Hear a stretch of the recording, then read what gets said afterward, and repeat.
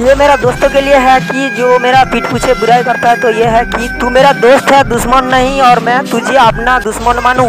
इतना भी तेरा हैसियत नहीं। मैं दुश्मनी अपनी बराबरी वाले से करता हूँ, और तू मेरा दुश्मन बने। इतना भी तेरा औकात नहीं।